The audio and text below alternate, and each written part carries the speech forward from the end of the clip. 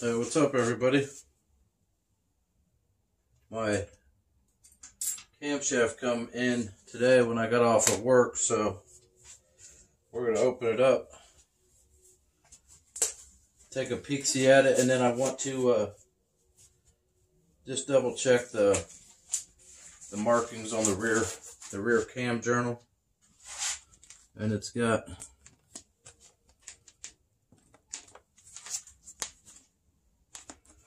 And I'm not being funny wearing gloves. There's been some that ask why I wear gloves. I just don't want any oils on this uh, camshaft. Cam and lifters rear slot for early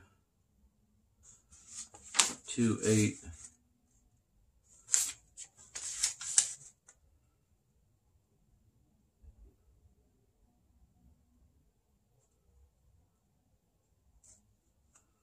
Okay, so it says to keep this, if I have any, um, please do not throw away the master shipping carton before inspecting hydraulic and solid cams. UPS will deny any broken cam claim without this carton. So, they must be talking about this. So, see how Guess we'll just start cutting.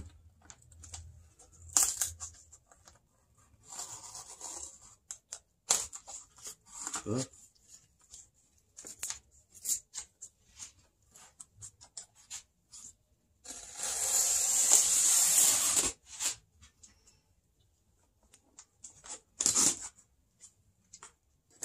Um, might be trying to open this upside down.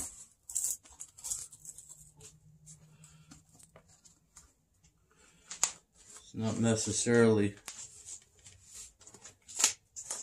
user friendly. Let's uh,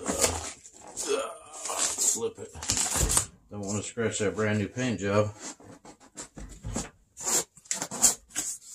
Okay. All right.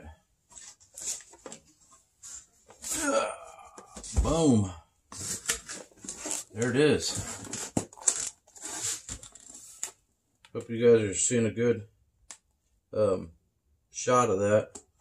So this must be the box that they was referencing to to not destroy. And you see it's the Mega Cam. They have a few different uh, series, but Iskenderian Cam and Lifter Kit,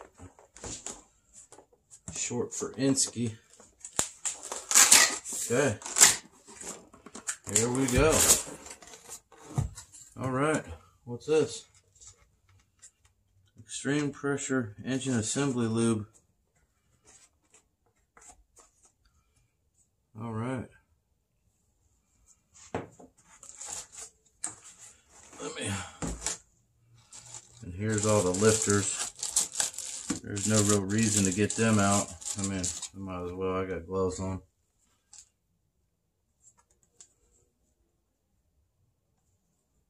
Yeah, there's one brand new hydraulic lifter. See, so now I can drop all this off and go up there and check out the engine itself as well.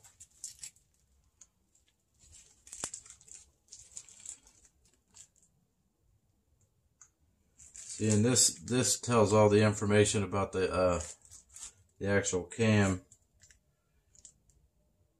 valve lift 4 450 duration 264 214 at 50 thousandths duration and 108 lobe separation.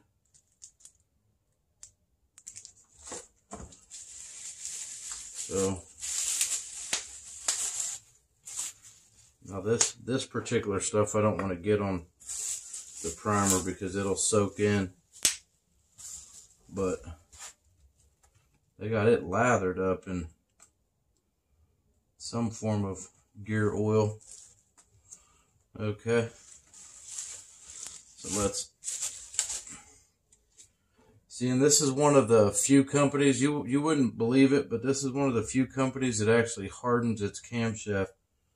A lot of the manufacturers nowadays, they don't harden, they don't put it through the, the treatment process to harden their camshaft. And uh, you have a lot of cam failure because of that. It's got real nice ramps on the on the camshaft. But see, this is what they machined I don't know if you could see that. That's what they machined into the back of it. And all that does is give you a, a pulse, pulsated oil to your lifters. Because 55 Chevys are, they're totally weird and unique like that. So, here's my old camshaft and you can see that it's got the the notch in it. But what I wanted to do was look at the front and see where the pin is for the timing chain. Okay. And then I wanted to make sure that that was in the same location.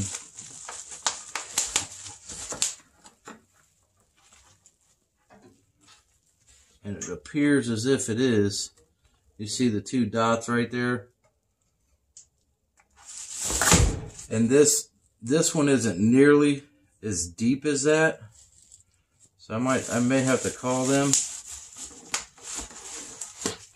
But you can see the one is way deeper than the other one. Which I don't know if that's going to make a difference or not. But it's definitely something I want to investigate. But from everything I can see, it is uh, it's where it needs to be to create an oil flow for it. So that's all good. That's checking out real good. But yeah, this one, this is the original one. And you could see the more shininess as it gets to the ramp, it's wearing through the the original heat treatment that GM put on them. And it actually begins to the point where it starts to uh, flatten that cam lobe. And you can see this one right here. This this lobe isn't nearly as defined as that one is. So it was starting to have camshaft failure, among other things. So I just figured I would bring you guys along because it's kind of a little bit exciting to see this new stuff come in. And uh, now I can drop this off and my heads off and start putting together a long block, which will be really exciting. I still got to get valve springs. Um, is in valve springs. A few of them's the retainers have actually walked off of them. So, um, a few of them valve springs was shot anyways, but whenever you change the lift to your camshaft, as dramatic as this one increased over a stock valve spring, you definitely want to get a match set of valve springs for it. So everything's looking good. I just want to double check to make sure that it doesn't have to, that rear journal slot doesn't have to be as deep. It's probably about half as deep as the original one. Uh, but we'll double check that and maybe even Bob knows. You know, maybe he even knows if it if it's going to make a difference. As far as I know, that just that notch in the back cam journal just uh, lets the oil pulsate from the rear cam bearing into your rear lifters. So I'll show you the valve springs on the heads and then I'll let you guys get back to your evening. I just thought it was cool and oops. Yeah, see there's the part number of it. Cam and lifter kit. I want to think it come from Gardena, California, Gardena, California. But these, I mean, these are just filthy as a pig inside, so they're going to have to be hot tanked. But you can see how this spring right here, see how it's more shiny than the rest? Because the retainer has come apart on it. And the retainer has come apart on that one as well. But we'll replace all them. We're going to try to work these heads over, you know, decent. Try to clean up them, them intake runners a little bit. And uh, I, I have to ask him where the push rods go through there. Them look pretty opened up. But I don't know on a newer small block like a camel hump head if these holes right here was even more uh, oblong. So more questions and more more questions that need answers. Well, there's the camshaft, guys. It's arrived. So now we got should have everything uh, for my short block now that the cam has come.